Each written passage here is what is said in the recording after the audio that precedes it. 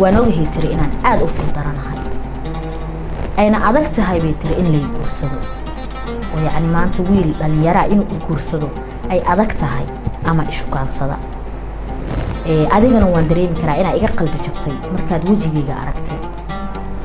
Laakiin waxay tiri waxaan ka faa'iidaysanayaa rasuulkeena sal allahu calay wasalam wuxuu yiri bay tiri ruuxii habeenka saqdhaxa ka kiciya xaaskiisa.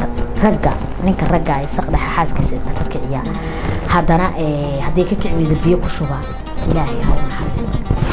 Aabbihiis buu subaxi dib ugu laabtay wiilkii markii uu ugu laabtay waxa uu ku yidhi aabbo maxaad gabadha fildaran doortay dabcan quruxda dadku waxay u yaqaanaan waxyaabaha jirka dhaldhalaalka amba qofka isqurxi amba cadaanta waxyaabahaas. Laakiin ma aha quruxda dhabta waa akhlaaqda asturnaanta iyo qofka diintiisa. Sheekadani waxay qabsatay wiil dhallinyaro ah waxa uu ahaa wiil dhallinyaro ah. Dabcan dhalinyaradii hore waxay ku tashan jireen in iyagu ay meel iska soo saaraan.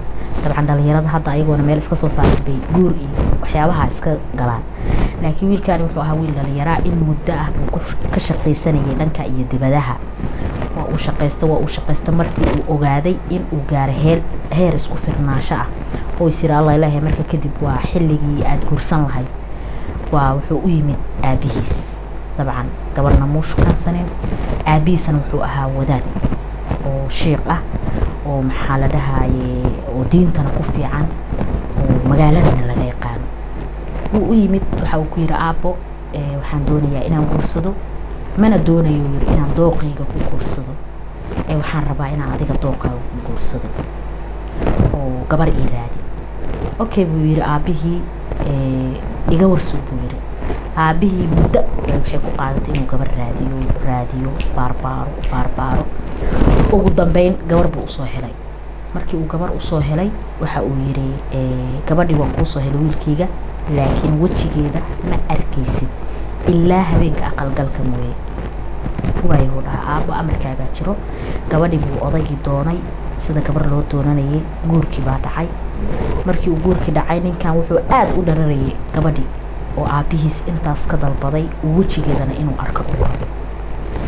Kadib gabadhii odaygii guursaday markii uu guriga soo galay wiilkii waxa uu yimid gabadhii oo wejiga u daboolan dabcan wejigiyuu ka qaaday haa aada iyo aad. Waxa uu arkay gabar aada u fildaran yacni muusan filaynin waxa uu filaayay gabar aada u qurux badan oo maxaa la dhahaye dee dadka meelaha dibadda ka imaada iska taqaanaaye maadaama haddana aabihiis uu dooqi saartay. Intaasna loo qarqarinayay. Dabcan wuxuu isdhahaya wax qurux badan baa lagu qarqarinayaa. Gabadhii waxay ku noqotay gabadh aada u fildaran dabcan raggana haddii ay xataa dhan kale u fiiriyaan mooye ay inay guursadaan ay aada u adag tahay. Kadib ninkii gabadhii wuu ka naxay uu iska seexday habeenkii. Markii uu seexday markii la gaaro waktiga salaatuleilka bay gabadhii ka kicisay kacbay tiri duko marka wuu ka kici waayay biyo bay ku shubtay. Wuu kacay. Markuu kacay salaadii buu dukaday ayadana salaadii bay dukatay. Markay dukatay uu salaadii ka baxay bay waxay tiri horta gabadhii way soo fadhiistay tiri horta ninkaygii bay tiri. Waan ogahay tiri inaan aada u fildaranahay ayna adag tahay bay tiri in lay guursado. Oo yacni maanta wiil dhallinyaraa inuu i guursado ay adag tahay ama ishukaansada adigana waan dareemi karaa inaa iga qalbi jabtay markaad wejigayga aragtay. Laakiin waxay tiri waxaan ka faa'iidaysanayaa rasuulkeena sal allahu calay wasalam wuxuu yiriya tiri ruuxii habeenka saqdhaxa ka kiciya xaaskiisa ragga ninka ragga ay saqdhaxa xaaskiisa inta ka kiciya. Haddana hadday ka kici weyda biyo ku shubaa ilaahay ha u naxariisto. Qofka dumarka gabadha ninkeeda ayadana ka kicisa ee markay ka kici weyda uu ka kici waayana biyo ku shubta si uu salaadaas u dukado. Iyadana allah u naxariisto. Dardaarankii rasuulka ahaa calayhi salaam baan raacayaa bay tiri naxariis baana kaa shaqaysanaya markaas buu wiilkii waxa uu yiri waxaa indhahaygii ilib baa ku soo istaagtuu yiri. Kadibna waan fiiriyuu yiri. Waxaan arkay uu yiri gabar qurux badan nuurka ka baxaayo aada yaabaysa oo aanba ahayn gabadhii xalay fiidkii aan arkay. Marka sheekadan waxayna baraysaa aabihiis buu subaxi dib ugu laabtay wiilkii. Markii uu ugu laabtay waxa uu ku yidhi aabo maxaad gabadha fildaran yacni aada iigu soo doorta buu yidhi aabo wuxuu yidhi horta quruxda la sheego waa akhlaaqda diinta iyo xijaabka aniga wuxuu yidhi gabar baad ii dirsatay in muddaana waa raadinayay intaas muddo ana waxaa raadinayay gabadha adiga kuu qalmi lahayd gabadha adiga alla kacabsiga kugu jeedin lahayd ee gabadha adiga diinta kugu jeedin lahayd salaada ku xasuusin lahayd tiina waa soo helay ee aabow quruxda la sheegayana ma ahan yiri quruxda jirka iyo wejiga iyo dhalaalka ka muuqata. Quruxda lagu sheegayo waa diinta akhlaaqda iyo asturnaanta. Gabadhaana intiiba waa isku darsatay marka wuxuu yidhi haddii gabar qurux badan aan kuu dooro oo iska qurux badan oo aad diinta ku fiicneen adigana aada ku fiicneen hadhow labadiinaba yacni waa halaagsamaysaan oo cid cid soo xasuusinaysa ilaahay ma jirto. Laakiin haddii gabadhan oo akhlaaqda iyo diinta leh marka ayadaba ku soo xasuusinaysa ilaahay.